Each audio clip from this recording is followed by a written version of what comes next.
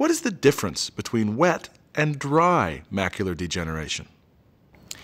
Age related macular degeneration, or AMD, is a leading cause of vision loss in people over 65. It affects the macula, which is at the center of the retina, the layer of tissue on the inside back wall of your eyeball. The macula is responsible for your reading and fine vision. Dry macular degeneration is a chronic eye disease that causes a loss of central vision. It is the more common form of AMD and is marked by the deterioration and thinning of the tissues of the macula. This gradually causes blurry central vision, and in advanced cases, a blind spot in the center of vision.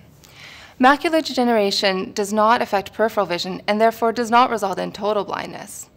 But as clear central vision is important for everyday tasks such as reading, driving, and recognizing faces, advanced dry AMD can affect one's quality of life. Though most people continue ha to have some useful vision and are able to live independently. Although there is no cure for dry macular degeneration, your doctor of optometry can give you recommendations on prevention and slowing the progression of the disease.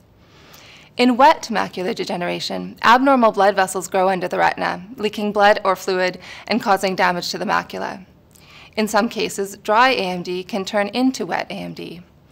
Wet AMD can cause rapid, severe central vision loss.